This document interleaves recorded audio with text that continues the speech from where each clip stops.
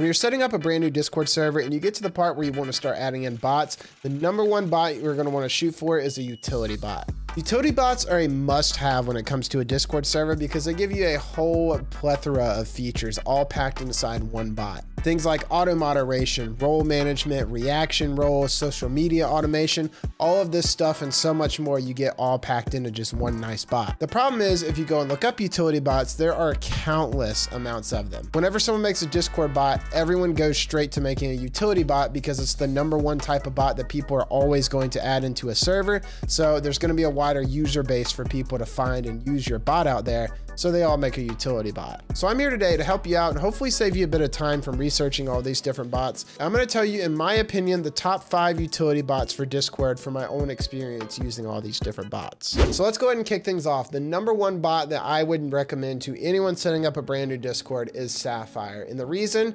it's fully customizable and it's completely free. Completely free is something that you won't come across in any other utility bot out there. Trust me, I've used tons of them. I've never seen one that gives you every single thing for free. And I'm not even kidding. When you go, like if we go into the dashboard here, let me load up a server that I'm in. We can load my server, for example. When you go into the dashboard, there's going to be, there is a premium service that they offer, but the only thing that premium is for is to customize the bot. You get a custom bot token to make it look like your own own personal bot. Everything else inside here is completely free. All the moderation features, free to use, join roles, free to use, social media notifications, free to use, reaction roles, you get unlimited, and not only are they free to use, you get unlimited amounts of these uh, uses of these features. There's other bots that we'll talk about a little later in the video that do offer a lot for free, but they limit how much you can use of those features for free. Versus Sapphire, you get to use every single thing for free. And even though you're getting everything for free, you aren't really missing out on a lot of the main features. You have embedded messages here that are super customizable with how you want to set them up. Um, you have auto moderation and a new AI moderation to assist you with Discord's built-in auto moderation. Um, you have a bunch of different moderation commands, social media notifications. A lot of this stuff we kind of just went over. You guys get the point. If you want a more detailed video, I have, I'll link one in the description for you. Those are the pros of Sapphire. Now let's talk about the cons because nothing's perfect, right? So if you're a newer user to Discord and are newer to uh, messing around with bots and setting them up and everything, you're going to uh, find that some of the setting up some of the things inside Sapphire are a little bit more trickier than other bots. Uh, the way that the UI is laid out, like embedded messages, for example, they're not super hard to set up, but it is a little bit trickier than other bots, especially when it comes to putting thumbnails or images, because you can't just upload an image from your file explorer like you can with a lot of other bots. You have to take an image URL, which can be a little bit trickier for some people to get. Another con that I find with Sapphire is the advanced auto moderation. With a lot of other bots, it's really easy to set up. You just toggle things on, toggle things off. This with Sapphire, it's pretty complex and pretty complicated. I'm not going to get into a ton of it, but I just wanted to mention that setting up advanced auto moderation, if you plan to do that, it's a little bit complicated for a newer Discord user with Sapphire than it is other bots. Now, some things I really like about Probot is they have very few uh, premium features. If you come in and we come to a server that I have Probot added into, you'll see everything in here, you get access for free. Um, and really the only premium features are uh, these four right here, which really aren't super important features to have set up in the server. Another thing that I really like is a lot of utility bots don't have this. You have to go and find an another bot to be able to do this is a leveling system. They actually have a leveling system built directly into their own utility bot. And it's pretty good. You get everything for free. Like you get, um, people get, uh, rewarded a role whenever they reach a certain level. Uh, so you don't have to pay extra like with uh, another bot that shall not be named on this channel anymore. You have to pay if you want people to get roles when they hit certain levels, which defeats the entire purpose of leveling system. Um, I really like that this utility bot hat, that ProBot offers that. In the auto moderation, contrary to like I just mentioned with Sapphire, it's really easy to set up. Um, it's really simple, self-explanatory. It's not as complex as something like Sapphire is. Now, one big con that I do have with Probot is when it comes to reaction roles, you can't create an already, um, you can't directly create a new reaction role message directly from this self-assignable roles screen. You have to use an already existing message, whether it's an embed or a message that you've made. You have to select an already existing one. And it's not a huge complaint, but it does add a little bit of extra time. It's really easy to be able to just jump in on the re reaction role screen and be able to create the message right then and there.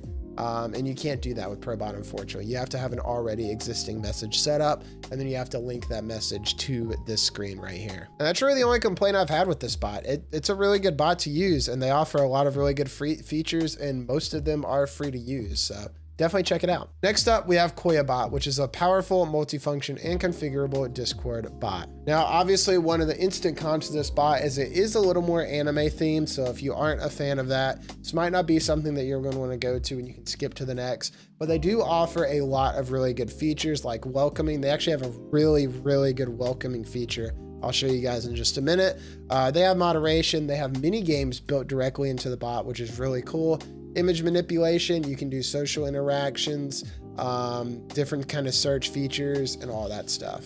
Now, something I really like with this bot is the welcoming feature. It's very clean and they offer a lot for you to set up.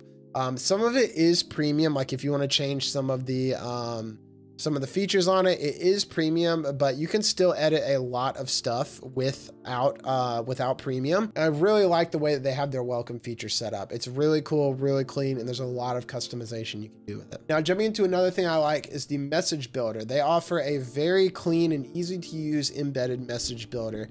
Um, the only downside to it is that it does, just like Sapphire, make you use image URLs instead of being able to just upload an image. So that does kind of suck, adds a little bit more time when setting that up. But other than that, it's very clean and very easy to use. If you guys are a newer Discord user, you won't have any problem setting up an embedded message like this. And while it doesn't offer you a preview over here on the right as you type it, this right here basically is your preview. Uh, so you can change the color of it. You'll see right here, this is what the embedded message will basically look like right here. Now, some of the downsides, they don't have a ton of features. Like you'll notice reaction roles is missing from this bot. So you're not going to be able to do reaction roles with it. When it comes to auto moderation as well, you're not really going to have a lot of auto moderation at all. You have anti-scam and that's all that they offer.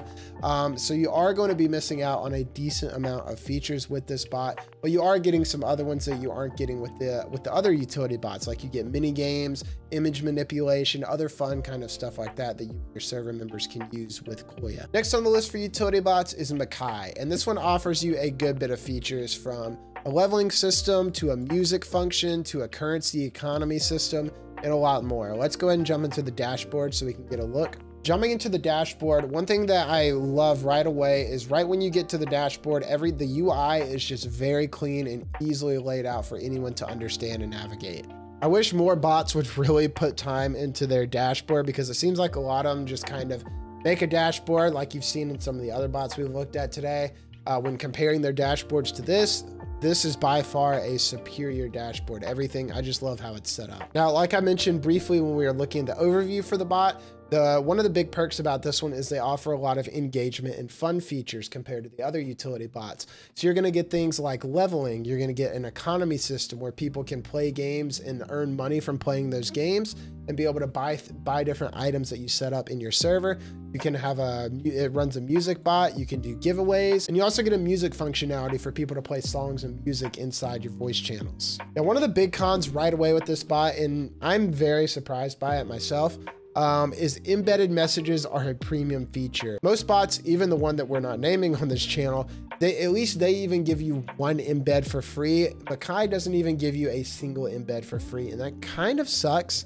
Um, that is a really big downside to the bot, but if you can get past that, uh, they do offer a lot of other really cool things. And then another con with the reaction role is just like the last, um, what was it, the Probot, um, you have to have an already existing uh, message. You can't just jump in and be able to create a new reaction role message.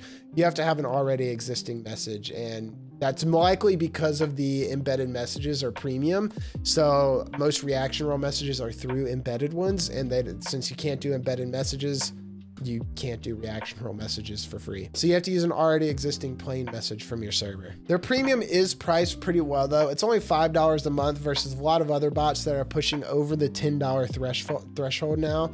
So if you are interested in using this bot and you want to be able to have the premium features, it's relatively cheap. And last but not least, we have a bot that has been around for a very long time, and that's a Dynobot. A bot that is used in over 8.3 million Discord servers. So chances are, if you know anything about Discord, you've probably heard or at least seen Dynobot before in another server that you've been in. Jumping into the dashboard for Dyno, the first thing you'll see is there's a lot of different features that you get. And that's due to the fact that they've been around for so long that they've had a lot of time to be able to develop all these different features all into this one bot. So you'll get access to a lot of things that you won't with other bots, things like forums, tags, starboard, giveaways built directly into this bot, the utility bot, all that stuff you get packed into this one bot.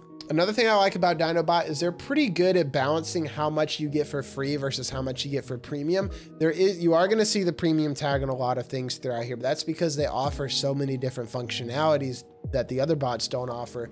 And when I mentioned the balance, you, you do get a lot of these features for free, but they are limited, unlike how I mentioned Sapphire is unlimited. So when you jump into reaction roles, you'll be able to set a bunch up for free, but you're only going to be able to do three reaction role messages. Once you go over that, it's going to tell you that you have to do premium. That's going to be the same for the message for embedded messages as well. You'll get it set up to three embedded messages. And then after that, it's going to tell you that you have to pay for premium. As far as cons to Dynobot, I really don't have too many. They're a really solid choice. The only thing that I don't like is that they do limit some of the free features like the embedded messages and the reaction roles that I just mentioned. That does kind of suck, but other than that, everything that they offer is really solid and really useful. And that brings us to the end of the video. Hopefully you guys were able to get a lot of useful information and I was able to save you guys some time from having to research all these different bots and see which ones are actually good and which ones aren't good. If you guys did enjoy it, please make sure to subscribe and drop a like on the video as both of those really help the channel out. If you want to chat more about anything Discord related, you can jump into my server. I'll have the link to that down in the description. And I promise the last plug, if you're into gaming, I am doing a lot of gaming streams. Currently, we're playing through Zelda Tears of the Kingdom over on my Twitch channel, twitch.tv slash gehsture. I'll have that link down in the description as well if you want to come over and hang out with us over there. Thank you guys for watching. I hope you have a great rest of the day, and I'll see you in the next one. Peace.